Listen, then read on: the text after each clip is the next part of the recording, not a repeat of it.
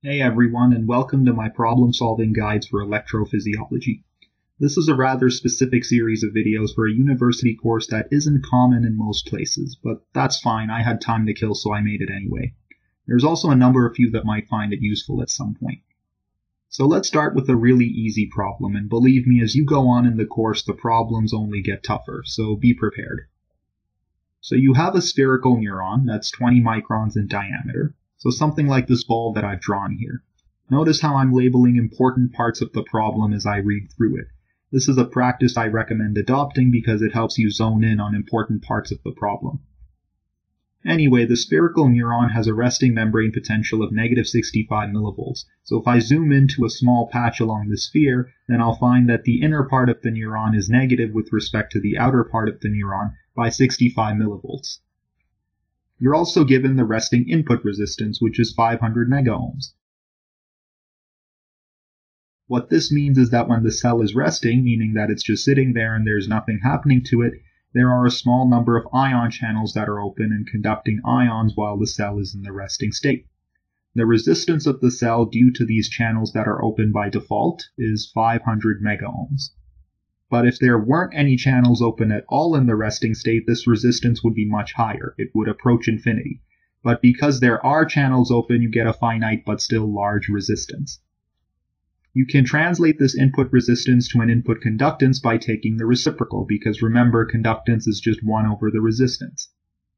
In this case, the conductance would just be 2 nanosiemens. Siemens is just the standard unit of conductance. Hopefully you've understood everything I've said so far, but if you haven't, be sure to ask in the comments. So let's get started on the actual problem. The first part asks you to find the time constant of the neuron. That's pretty easy. It's just the time constant of a resistor capacitor circuit. Just the resistance of the membrane, which is at rest right now, so it's just the input resistance, times the capacitance of the membrane, C sub n. We already know the input resistance from the given info, but we don't exactly know the membrane capacitance. However, determining that isn't too difficult because you just have to recall one special rule, and this is a rule that you should probably memorize. And that rule is that the specific capacitance, meaning the capacitance of a 1 centimeter squared patch of membrane, that's 1 microfarad. This is a known and constant property of the phospholipid bilayer that makes up the cell membrane. So remember it. In this case, we all know that the cell is a sphere.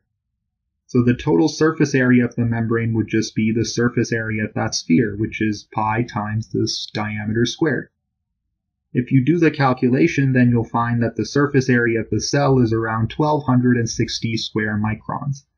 To get the capacitance of the membrane, you just multiply this area by the specific capacitance.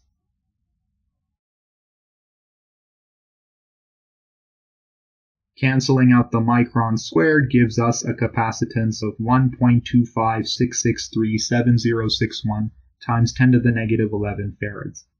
Just a quick note. Always, always keep track of your units and conversion factors. I cannot stress this enough. If you lose track of your units, it's very easy to mess up and end up with a completely wrong answer. So we have both the capacitance and the input resistance. If we multiply them both together,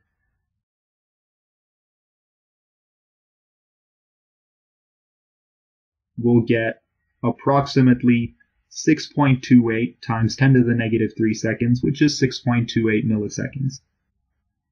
So we're done with part A now, so let's go to part B. The neuron receives an excitatory synapse, so something like in this diagram. When that synapse fires, it opens a bunch of non-selective channels with a synaptic conductance of 500 picosiemens. Pico, by the way, just means 10 to the power negative 12.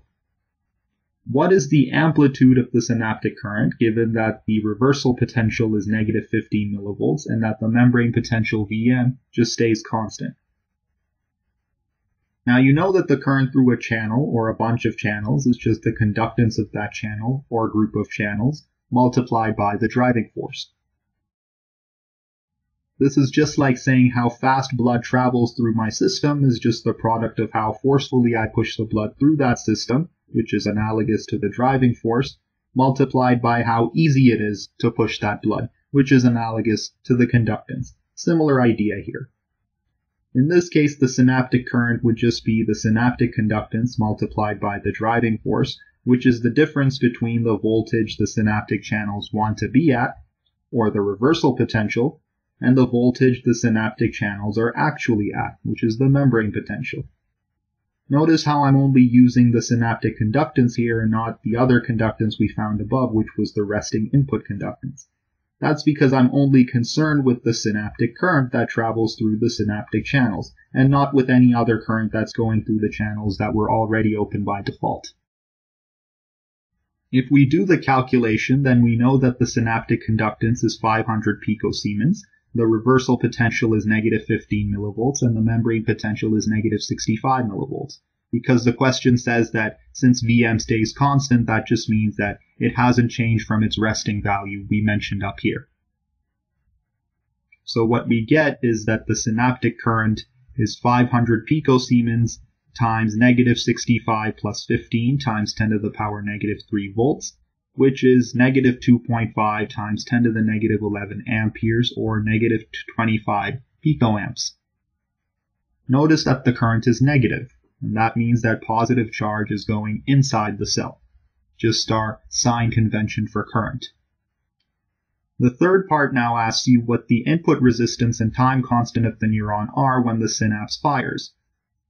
And here's where you'll have to recall the definition of input resistance or conductance. Similar idea. The input resistance or conductance tells you how much the membrane potential of a cell changes in response to an injection of current into the cell. It tells you the overall resistance of the cell in terms of the extent to which its membrane channels are open. So before the synaptic event, only the resting channels were open.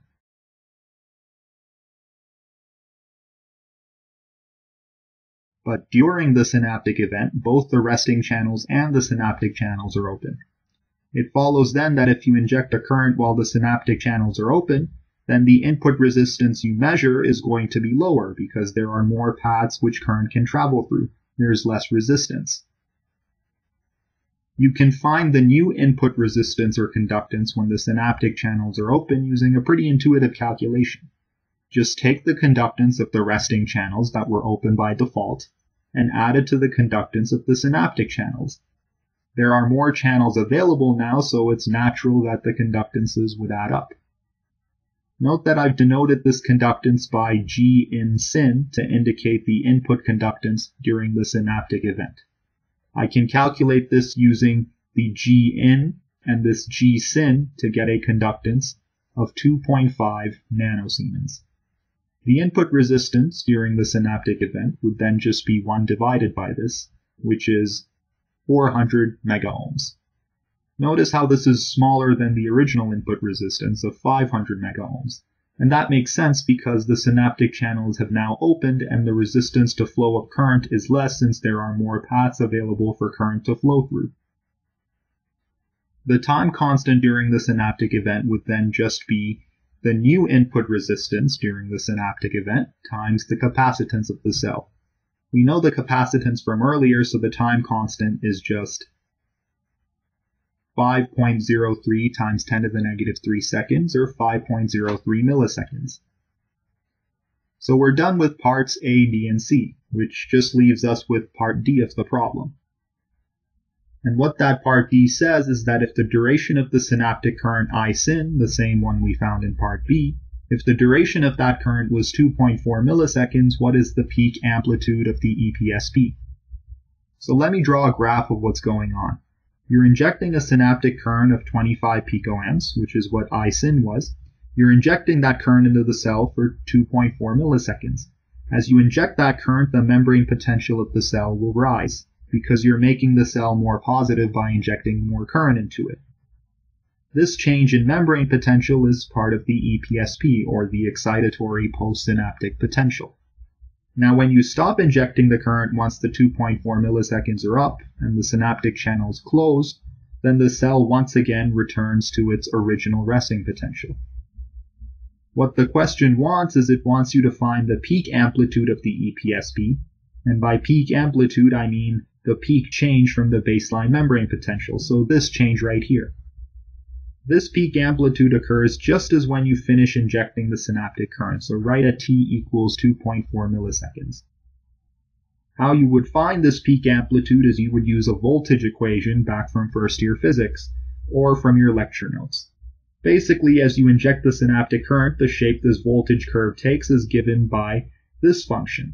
So delta V of t is I synaptic times the input resistance when the synaptic channels are open, times 1 minus the exponential of negative t over the time constant, where the R in syn is of course the input resistance while the synaptic channels are open, and the tau syn is the time constant while the synaptic channels are open.